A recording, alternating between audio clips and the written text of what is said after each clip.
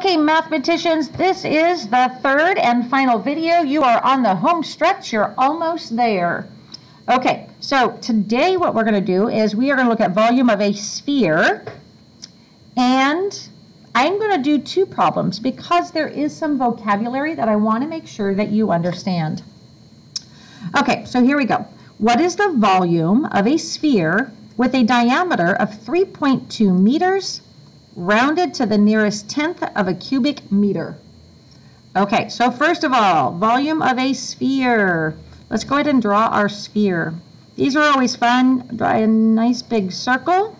And if you want to make it look cool, you can sketch in the, um, the inner parts just so it does look like a circle. It gives it that 3D look. There we go.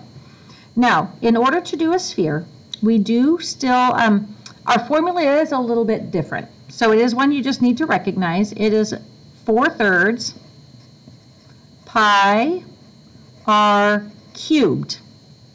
Now, I always have to remember that it's 4 divided by 3. It is 4 thirds. It is greater than 1. And having this divided by 3 helps me to remember that I need a radius of 3. Okay, so I am going to go ahead and plug in what I know. Diameter of 3.2. Well, I know diameter goes all the way across the circle. So my diameter is 3.2. The challenge is I don't need the diameter, I need the radius. Fortunately, I remember that the diameter or the radius is um, half of the diameter. So I'm actually just going to go over here to my calculator. I'm going to do 3.2 divided by 2 and get 1.6. So my radius is 1.6. What are we using? Meters. Okay, that's the only number I need to know to plug this in. So let's go. Volume equals 4 thirds pi, radius 1.6 cubed. Okay, now how do we do this on the calculator? So I'm going to show you um, in an extended version how I type this in. So to get the volume, you're going to do 4, and then you're going to do times pi times 1.6, hit the cube button, and then you're going to hit divide by 3. That is how we type this in. It is, well, at least that's the easiest way. There are more than one way to do this, but let me show you how it works because it does work quite conveniently. I'm going to do 4 times pi times 1.6 cubed divided by 3. And there is my number. So notice it is a really long number. Volume equals 17.15728, and it keeps going. They want us to round to the nearest tenth, which is this number. So again, I always have to decide, is this closer to 17.10 or 17.20? Since this is a 15, it is actually closer to this number. So volume equals 17 0.2, remember mathematicians, we just don't write the zero, and it is meters cubed because we cubed the radius. Okay.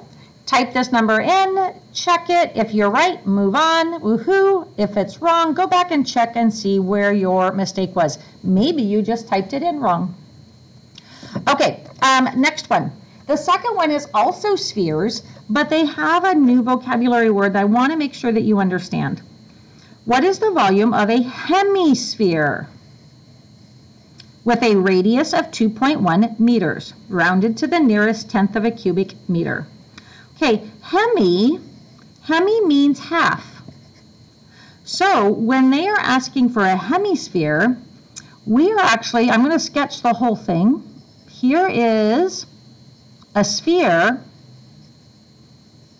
right? Here's our sphere, but they actually only want half of it. So I'm going to kind of erase that. How would we find, okay, so now I'm going to sketch this in darker. They want to know a hemisphere, hemisphere. So I'm only going to find half of it. Now, to find half of it, I really am going to use the same formula.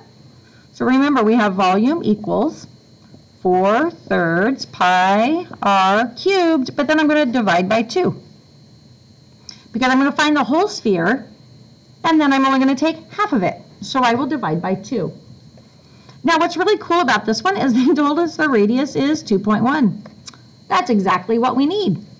So here we go. Volume equals 4 thirds pi r, which is 2.1, cubed, and then I'm going to divide by 2.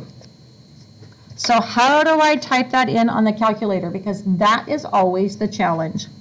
Okay, volume equals, we're going to do like we did up here. I'm going to do volume or sorry, 4 times the pi times 2.1 cubed. Then I'm going to divide by 3. Then I'm going to divide by 2. It is possible just to put this string in. Fortunately, our calculators are pretty smart and they can keep track of everything we're doing. So let's go ahead and try this. Okay, well, I know I have a little bit of a glare. Let's move it down here. Okay, so I do 4 times pi times 2.1 cubed divided by 3, then divided by 2 equals. And there is my number. I have volume equals 19.39619, and it keeps going. I need to round to the tenths. So this is either going to be 19.30 or it's going to be 19.40. Since this is a 39, it is closer here. My volume is 19.4. Don't need to write the zero. What was my unit? It was meters.